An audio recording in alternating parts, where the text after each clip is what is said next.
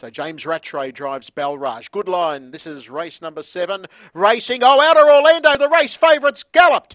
Outer Orlando galloped for a few strides. He still hasn't settled. A bit of a sensation here. Outer Orlando up in the air. McCarthy's trying to get it to settle, but it's going to tail right out here. And as they sort their order out up on the outside, Balraj goes up to take up the front running, so it's going to have to lead them over the long journey. It shows the way by about four metres. In second, Posse up on the outside as they run their way down the side. Here is Mr. Brazil. And in third spot, covered up the inside, is Zennart. They were followed by Pocket of Terror three markers. Further back then came Mighty Flying Deal. It's about to lob into a nice trailing spot over Van Data.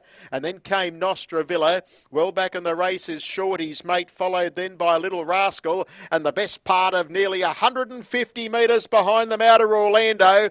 By gee, there's a sensation and a half. It's Balraj coming down the home straight now. It'll greet the judge and shows the way by four metres. That lead time was a pretty slick 47.7. It's Balraj on top. Second, Mr. Brazil. In third, Posse on the inside is Zennart. And they were followed next of all by Mighty Flying Deal. The inside is uh, further back there, Pocket of Terror. And then we go back to Nostra Villa Van Data. Well back is Shorty's mate. The outside of those is Little Rascal and tailed right off is Outer Orlando, the race favourite, the odds on pop.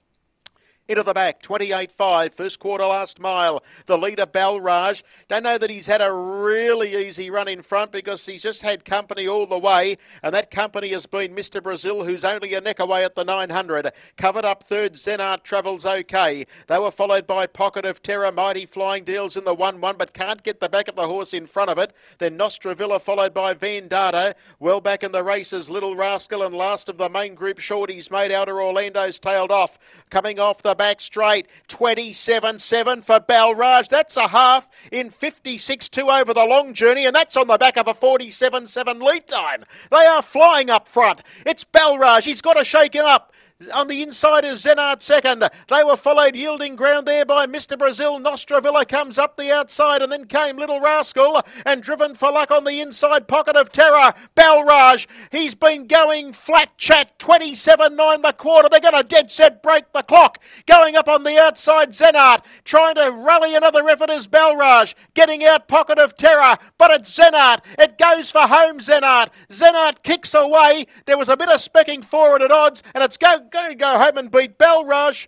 Third home pocket of terror. Fourth, gee, it's tight between on the outside uh, Shorty's mate and also Nostra Villa. They've rated 151.5. That'll be somewhere near the round about an Australasian record. Wow. Behind those then Little Rascal, followed then by Van Data. Mr. Brazil dropped out. Mighty Flying Deal and a sensation without a Orlando galloping. 151.5. That is the fastest 2,300 metres that I've ever seen in the 11 years I've been broadcasting the Menangle Trots.